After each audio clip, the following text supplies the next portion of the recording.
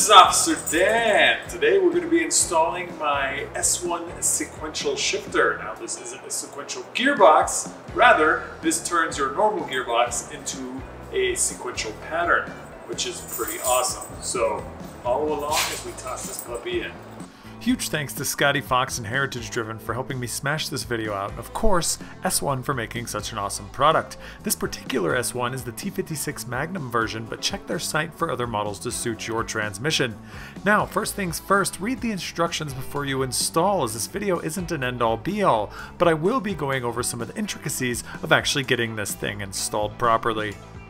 First, let's get familiar with all of the parts needed for install, starting with the shaft fitting, then the shift knob adapter, the drill square, the reverse lockout cover, the optional shift indicator, which I highly, highly recommend, that also comes with the shift sensor, the base plate spacer, as well as the base plate itself. You also get the shifter and a few bags of hardware that I'll go over in just a few. This is the best way I found to actually shift it off of the car. Brace yourself against the bench as you will need to put this thing into neutral, which is all the way forward with the selector down. And this is how it will look once it's all installed and we get it in the car. Just wanted the visual reference for when it was out.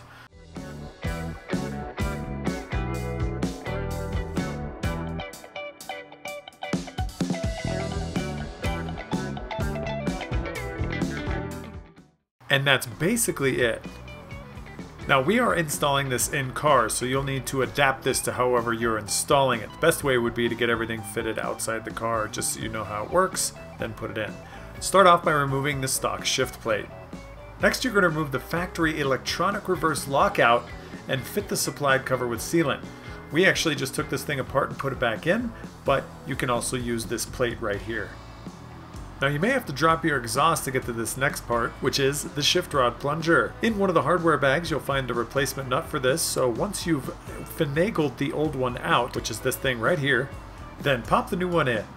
Once those two things are out, remove the plastic bushings, whichever way you see fit. We used a pick and it worked pretty well, just like you see here. Now this next part wasn't in the instructions, but we did it anyway. We installed the needed hardware to the shaft fitting, then we shaved down both of the bolts on the bottom to make sure they wouldn't cause any problems later. Nice and flush. This next part is a bit tricky, but with the help of some duct tape, it's not so bad. The tape also keeps you from losing hardware into your transmission. You have to feed the base retainers through and get them centered. Now, once both of them are lined up, you can install the shaft fitting as shown here. It is supposed to fit tight, and sanding may be required, just don't take off too much. Toss some Loctite on the bolts, then tighten those suckers on down. Once those are tight, Apply a thin layer of silicone and then install the base plate using the countersunk bolts from the hardware bags. A better way to do this is to line it up and pin everything first, then go back and put the silicone on. Now smooch out some more of that silicone sealant and make a thin layer around the small metal gasket that goes in between the base plate and the actual shifter itself. Then slap that sucker on in, just make sure all the holes line up properly, and you don't want to move it around too much, so once it's set, forget it. Now this needs to be installed here, so make sure it's in neutral, pop the ball down, tilt the blue plate up as far as it can go, then slide the ball into the slot in the blue plate, then set the shifter all the way in. Next, we're going to install the longer bolt square washers in the drill square. Now, don't tighten these down all the way just yet, as the hard part is to come. Now we had to modify just a bit and use a shorter bolt on the front left corner, that one, and there should be three others that do fit just fine. You will now need to make millimeter adjustments to get the shifting just right.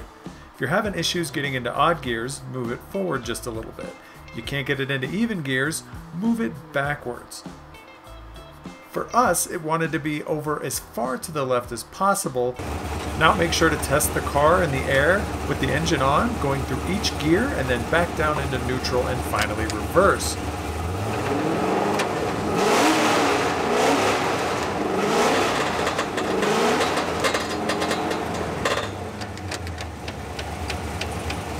Now all that's left is to drill the holes and hammer down the dowel pin so it does not move around, and if you ever do need to take it off, it'll go right back into the same place. Now, tighten everything back down for the last time, put any stickers you may or may not need to put on, and it's time to go shred some laps with some buddies.